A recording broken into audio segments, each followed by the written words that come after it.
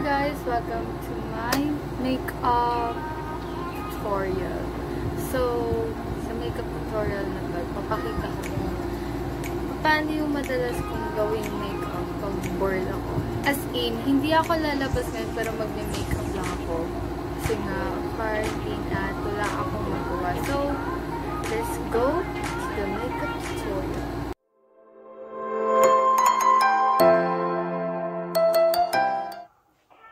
Hi guys! Ayan, mag-umpisa tayo sa homemade lip scrub. Next time, ipapakita ko sa inyo kung paano ko ginawa yung aking homemade lip scrub. Para alam niyo rin. Mag-wait lang tayo ng 5 minutes.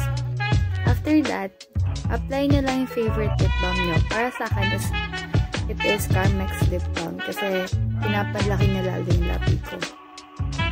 After mag-moisturize ng labi, syempre, kailangan mag-moisturize na tayo ng mukha.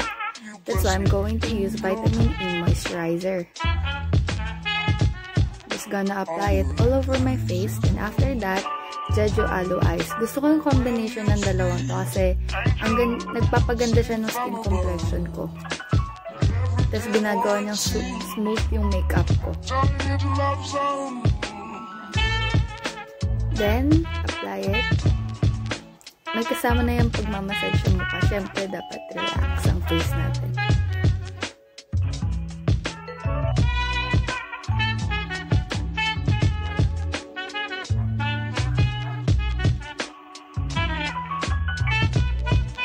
Now, start na tayo maglagay ng foundation. I use Ever Belena Stick Foundation. Actually, favorite foundation ko po gamitin to guys. Actually, it's been 3 years since I started using this foundation. And up until now, ito pa rin talaga yung favorite kong gamitin. Then now, we will just blend it all over our face. Siyempre, alangan na mahayaan natin na hindi siya blended, ba diba? Ang pangit naman ata tingnan nun para tayong baliw. So, kailangan spread talaga natin. After that, mag-start tayo sa concealer. Maybelline Fit Me Concealer shade number 20, my favorite, as always.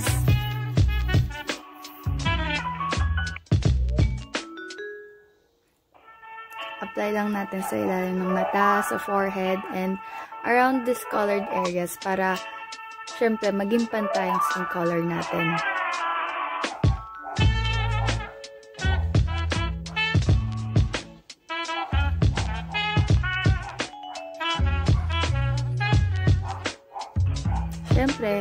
Blend ulit natin.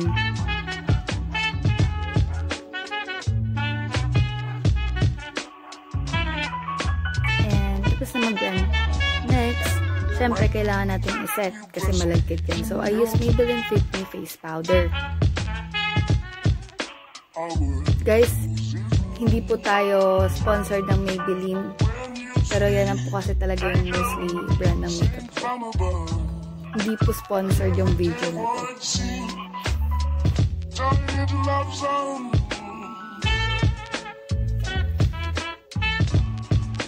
Next one, proceed na tayo sa eyebrow palette. Revolution eyebrow palette po yung gamit ko.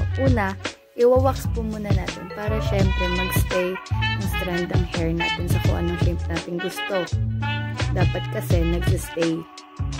Gawin rin po natin sa kabilang kulay, syempre para pantay. Then, fill lang po natin yung brows, brows natin. Dapat nagsistay. Dapat pantay. Para hindi magulo.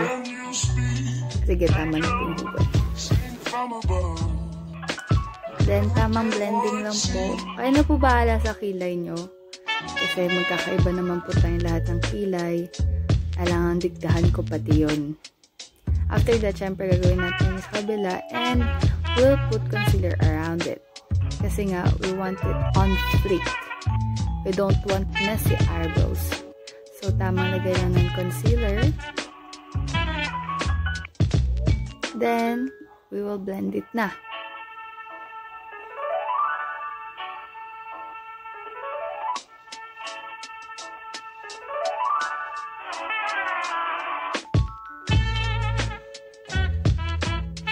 Kahit daliri nyo lang pong gamitin nyo, pwede rin naman. Basta carefully blend it pero hindi halata. After that, gagawin rin natin sa kabilang kilay.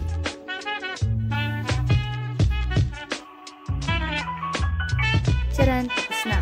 Now, we will proceed syempre sa mamata. I use Nichido eyeshadow palette. Pinipili ko po lagi yung favorite ko na red shade sa Nichido eyeshadow palette na to. I think this was the Christmas collection na special Nichido palette.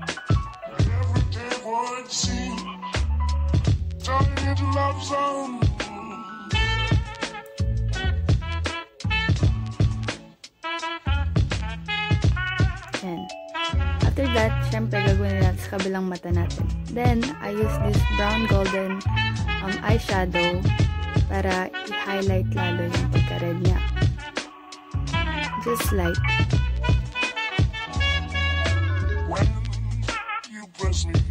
Para lang mag-enhance yung pagkapula ng eyeshadow na una natin nilagay. Syempre, sa kabilang mata din. When you speak, angel, sing from above. blend it well para maganda tignan. Next, I use this BYS Nude Number 3 palette. I choose the shade called Suit to apply at the edge of my eyes. Tamang blending lang po kasi yung sekreto dyan. Ika-cut crease po natin yan mamaya. So, kahit messy siya, banda gitna, it's okay lang. Then, we'll put na concealer.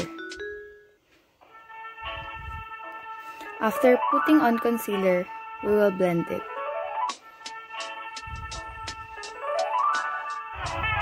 After blending it,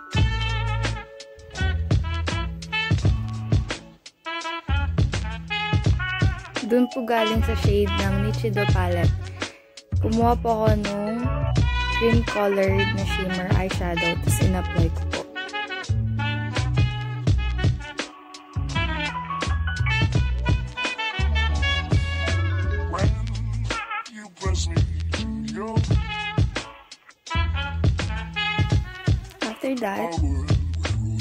Yung ginamit po natin na shade ng red nung umpisa, yun din po yung ilalagay natin sa gitna nung cream shimmer at ng black para ma-accentuate yung kulay red na una natin nilagay.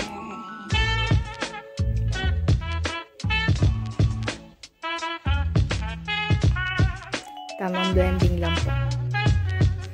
Then after that, syempre, maglalagay rin tayo sa ilalim ng mga mata natin to give us that dramatic look.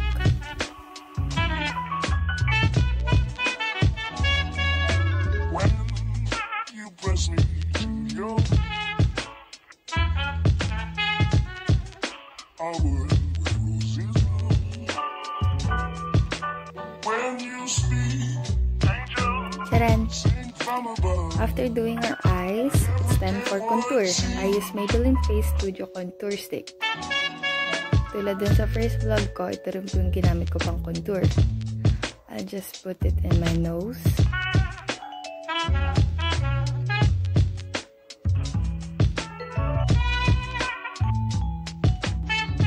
In my cheeks, my forehead, Then after that, tamang blending ulit.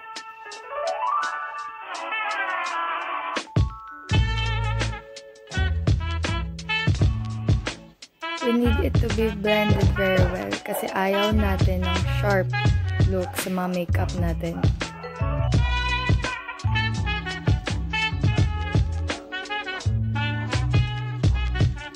Ayan guys, tamang blending lang. Huwag din natin kakalimutan yung sa forehead natin.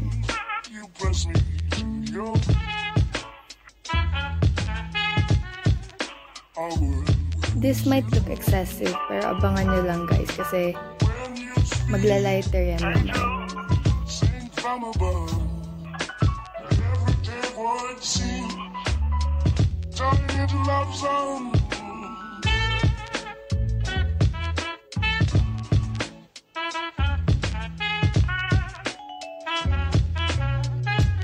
Eh wait, nakalimutan ko yung sa ilong. Ayan. And after that, we will use the cream side of the contour stick to highlight those um, parts or to lighter the contoured parts. Siyempre, sa ilong ulit, sa forehead and my cheeks. Near the jawline. Then, blend lang natin. Using a completely different br- brush, syempre, para hindi maghalo yung color. Ayaw naman natin ang pinaghalo-halo.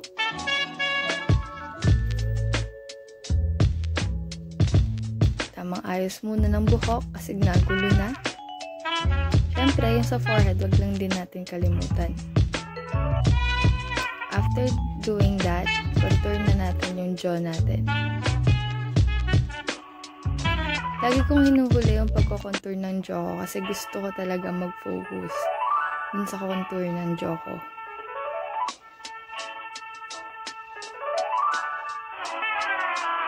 And after that, syempre, isa-set ulit natin using the Maybelline Fit Me Face Powder.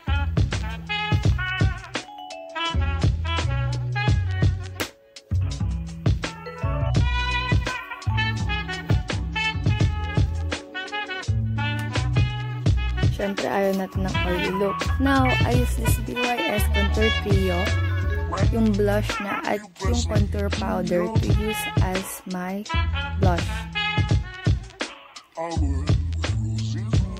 I apply it in my cheeks, my nose.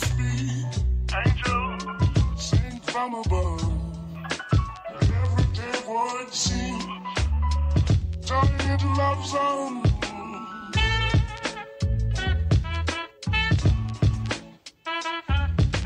Siyempre, sa baba ko din.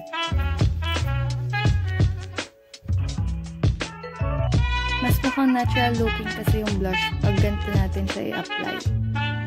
Ayan. Siyempre, huwag tayo maging excessive sa blush at mukha na tayong sinampal. Hindi yun maganda tingnan.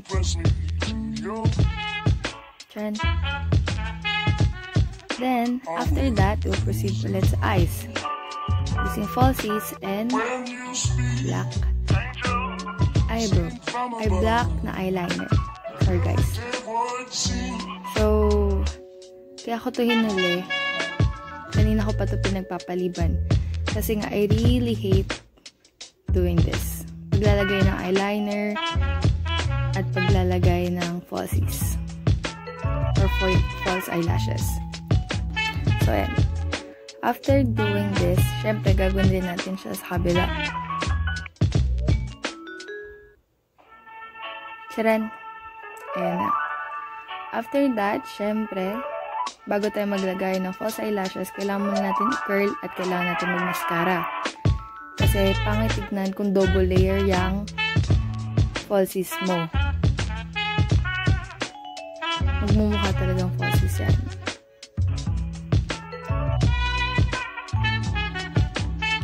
After, after curling it, syempre, I use my L'Oreal Lash Paradise na mascara kasi waterproof at kahit umiyak pa ako nang umiyak dyan ng sandamakmak kahit isa pang timba, hindi siya kumakalat. Hindi siya nagsismudge. After, gal- after gawin, mag-lips muna tayo habang pinapatayo natin yung mascara. Sa lips, I use this Ever Belena matte lipstick. Sexy nude po yung shade niyan.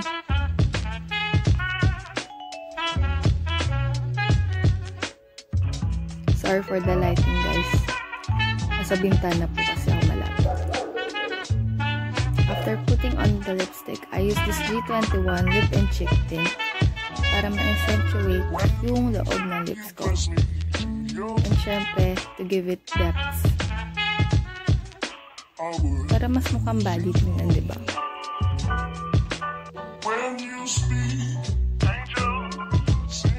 Charan.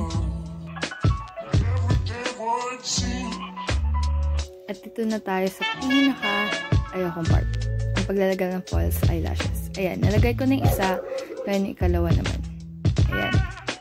Then, now, kailangan na natin is highlighter. Favorite kong part na to. Ang paglalagay ng highlighter. I use this BYS highlighting palette. Hindi rin po tayo sponsored ng BYS.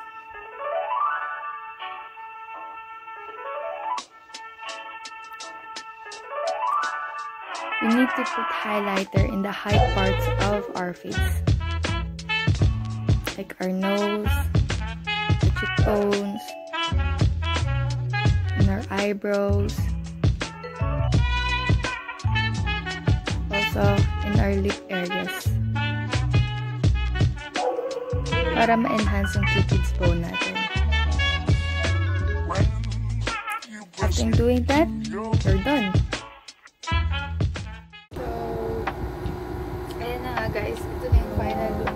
Nagbihis na rin ako ng damit. Guys. As you can see. Not bad for the first time.